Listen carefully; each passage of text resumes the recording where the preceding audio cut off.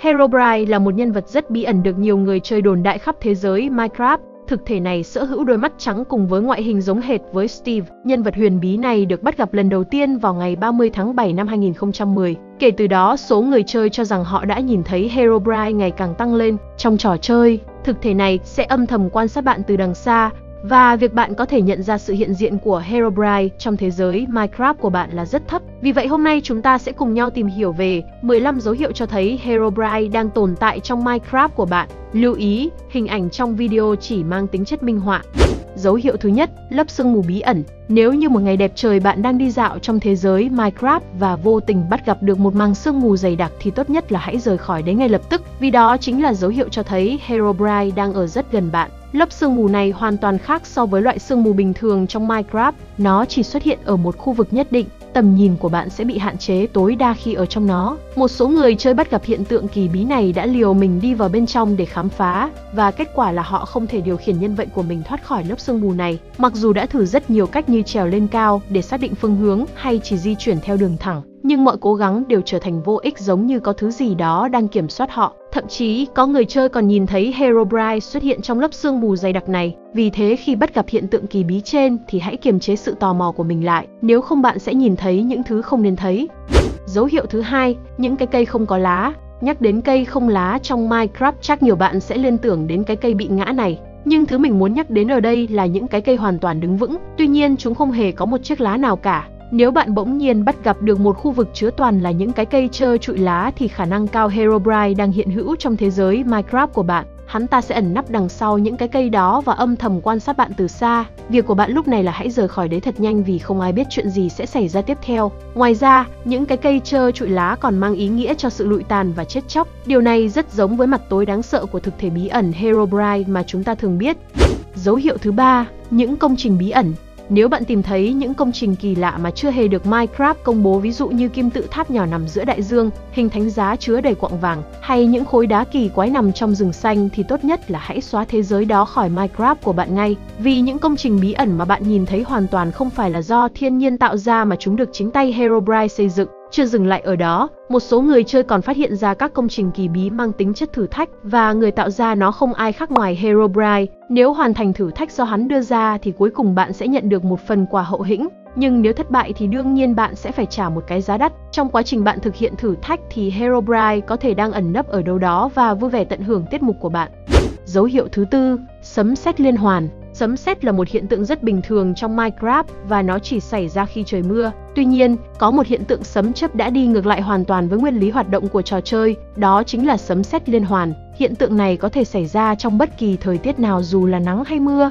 Điều kỳ lạ là hiện tượng này không chỉ có một tia sét mà có rất nhiều tia sét cùng đánh vào một vị trí nhất định. Thậm chí từng có người chơi nhìn thấy Herobrine xuất hiện khi sấm sét liên hoàn xảy ra nên chắc chắn hiện tượng này không hề diễn ra một cách tự nhiên mà có khả năng đây chính là sức mạnh của thực thể bí ẩn Herobrine. Vì vậy nếu bắt gặp hiện tượng sấm chớp kỳ bí này thì có thể Herobrine đang hiện diện đâu đó ở xung quanh bạn. Dấu hiệu thứ năm, những cái đầu của Steve. Đầu Steve là một vật phẩm chỉ có thể lấy được khi người chơi đang ở chế độ sáng tạo hoặc sử dụng câu lệnh để lấy nó. Nhưng nếu như bạn đang chơi một mình trong chế độ sinh tồn mà vẫn có thể bắt gặp được vật phẩm này, thì đó là dấu hiệu cho thấy không chỉ có mình bạn đang sinh tồn trong thế giới Minecraft, mà vẫn còn một nhân vật nữa không ai khác ngoài Herobrine. Ngoài ra, đầu của Steve còn là một vật phẩm thường được dùng để triệu hồi thực thể Herobrine, nên tốt nhất khi gặp vật phẩm này trong chế độ sinh tồn thì tuyệt đối đừng mang nó đi và lập tức tránh xa nó. Dấu hiệu thứ 6, cháy rừng. Trong Minecraft, khi một khu rừng bị cháy thì chắc chắn đã có sự tác động của người chơi khiến cho nó gặp hỏa hoạn. Nhưng nếu như bạn đang sinh tồn một mình và vô tình bắt gặp hiện tượng này, thì có khả năng vụ cháy rừng đó là do một thế lực bí ẩn gây ra, cụ thể chính là Herobrine. Một số người chơi từng nhìn thấy hiện tượng này cũng khẳng định rằng họ đã trông thấy một hình bóng rất giống với Herobrine tại hiện trường. Vì vậy bạn nên cẩn thận hơn đối với những vụ cháy rừng bất thường trong Minecraft. Dấu hiệu thứ bảy, sự biến mất của các sinh vật xung quanh. Trong thế giới Minecraft có rất nhiều loài sinh vật khác nhau từ hung dữ đến hiền lành. Chúng được trò chơi không ngừng tạo ra với mục đích làm cho tựa game trở nên phong phú hơn. Nhưng nếu một ngày nào đó bạn không thể tìm thấy bất kỳ loài sinh vật nào xung quanh mình, kể cả là quái vật, thì bạn chính thức đã lọt vào tầm mắt của Herobrine. Hiện tượng toàn bộ sinh vật bị biến mất còn được nhiều người chơi Minecraft gọi bằng cái tên sự bắt cóc của Herobrine, vì chính Herobrine là kẻ đã gây ra hiện tượng này. Dấu hiệu thứ 8, kẻ đột nhập chỉ có mình bạn đang chơi sinh tồn trong thế giới Minecraft và một ngày nào đó bạn muốn ra khỏi nhà để tìm kiếm một số loại khoáng sản. Trước khi đi bạn đã cẩn thận đóng cửa nhà. Tuy nhiên, lúc trở về thì cánh cửa nhà bạn đã bị mở toang một cách bí ẩn, giống như có kẻ vừa đột nhập. Bạn là người duy nhất đang chơi trong thế giới này và xung quanh nhà bạn cũng không hề có bất kỳ một ngôi làng nào, nên trường hợp dân làng đã mở cửa nhà bạn là không thể xảy ra. Vậy ai là người đã đột nhập nhà của bạn? Kẻ duy nhất có khả năng làm nên chuyện này chỉ có thể là Herobrine.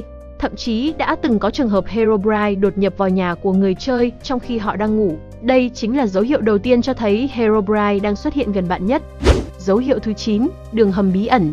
Nếu bạn vô tình tìm thấy một cái hang nhỏ phát ra ánh sáng màu đỏ thì không còn nghi ngờ gì nữa, Herobrine chắc chắn đã xuất hiện trong thế giới Minecraft của bạn. Thực chất đây không phải là cái hang mà chính là một đường hầm có kích thước 2 x 2. Ánh sáng đỏ mà bạn thấy được phát ra từ những cây đúc đá đỏ cắm dọc theo đường hầm. Nếu bước vào trong thì thứ đang chờ đón bạn sẽ là những con zombie do Herobrine triệu hồi ra. Vượt qua chúng và đi đến cuối đường hầm thì bạn sẽ bắt gặp một căn phòng nhỏ. Đây chính là nơi ở của Herobrine trong thế giới Minecraft của bạn. Điều quan trọng nhất là bạn tuyệt đối không được lấy bất kỳ thứ gì trong căn phòng này, nếu không khi trở ra ngoài. Thứ đang chờ đợi bạn không ai khác ngoài Herobrine. Một số người chơi khi tìm thấy đường hầm này đã vì lòng tham của mình mà phải trả một cái giá rất đắt.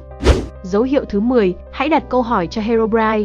Đây là dấu hiệu có thể giúp bạn biết được chính xác liệu Herobrine có thực sự tồn tại trong thế giới Minecraft của bạn hay không. Bằng cách hãy đặt câu hỏi trực tiếp cho nhân vật bí ẩn này, bạn chỉ cần chuẩn bị 6 khối đá đỏ và một tấm bảng rồi chờ cho đến khi trời tối. Việc đầu tiên mà bạn cần phải làm là sắp xếp những khối đá đỏ để tạo thành hình thánh giá trước cửa nhà. Sau đó đặt tấm bản lên phía trên và ghi dòng chữ Herobrine, do you really exist? Việc còn lại của bạn bây giờ là hãy vào trong nhà và lên giường ngủ. Đến ngày mai bạn sẽ nhận được câu trả lời mà mình mong muốn. Sau khi thức dậy, nếu dòng chữ trên tấm bảng vẫn giữ nguyên thì không có gì bất thường xảy ra. Nhưng nếu dòng chữ đó đã bị thay thế bởi từ Z thì chắc chắn đó là câu trả lời của Herobrine dành cho bạn. Đồng nghĩa với việc nhân vật bí ẩn này thực sự đang tồn tại trong thế giới Minecraft của bạn. Dấu hiệu 11, đường dây vô tận, hầm mỏ bỏ hoang là nơi duy nhất trong Minecraft sử dụng đường dây, ngoài ra không còn bất kỳ công trình tự nhiên nào xuất hiện đường dây cả. Vậy nên nếu bạn tìm thấy một đường dây kỳ lạ dẫn thẳng xuống lòng đất thì đó không phải là một công trình tự nhiên của Minecraft, mà đó chính là một con đường do đích Herobrine dành riêng cho bạn. Sở dĩ nó có cái tên đường dây vô tận là vì khi nhìn xuống dưới đáy, bạn sẽ không thể nhìn thấy điểm tận cùng của đường dây để đảm bảo an toàn cho mình. Bạn không nên leo lên chiếc xe mỏ và chạy xuống phía dưới, vì đây là đường dây vô tận nên chiếc xe không bao giờ bị dừng lại và nó sẽ đưa bạn ra khỏi thế giới Minecraft. Sau khi ra khỏi phạm vi của thế giới chắc chắn bạn sẽ chết. Điều đáng sợ là Herobrine sẽ xuất hiện ở cuối con đường và từ từ chiêm ngưỡng cái chết của bạn. Dấu hiệu 12, bệnh triệu hồi Herobrine Bệ triệu hồi là cầu nối giúp cho Herobrine đến được với thế giới Minecraft của bạn. Nó có rất nhiều hình dạng khác nhau và thường xuất hiện ở những nơi kín đáo điển hình như trong hang động. Đặc điểm nhận dạng của nó là thường có những khối vàng, đầu Steve, lửa địa ngục hay đốt đá đỏ. Tỷ lệ người chơi tìm thấy bệ triệu hồi là rất thấp, chỉ có 0,01%. Tuy nhiên, một khi bạn đã bắt gặp bệ triệu hồi thì chắc chắn Herobrine đang hiện diện trong thế giới Minecraft của bạn.